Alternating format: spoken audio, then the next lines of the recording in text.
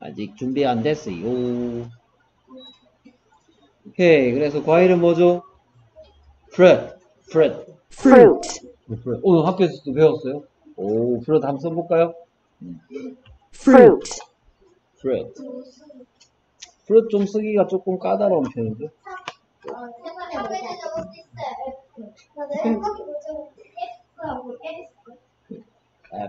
fruit. 네가 머릿속으로 생각해야 되는 거지. fruit. F I G H. fruit. fruit. 그거는 누가 사이? fruit. I fruit. 쌤 보고 다 같이 하려 그러면 어떡해.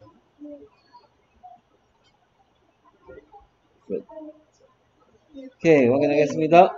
fruit, fruit, fruit. i가 있는 게 함정이고, fruit. fruit, 오케이, 틀렸으면 두 번 씁니다. fruit. 선생님.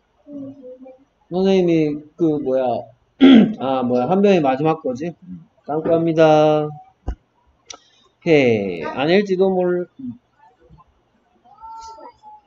무슨 낫인데 뭐 이런 말 있으니까 낫이 있겠지 낫이 들어있겠지 에헤이 저희 하나도 모르네 그래갖고 안 되는데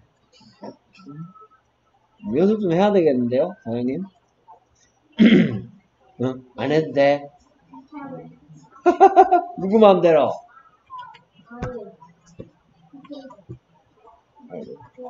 may not, 뭐라고요? May not. may not, 난 건강하지 않을지도 몰라 할 때 나오죠. may not, 난 건강하지 않을지도 몰라가 뭐니?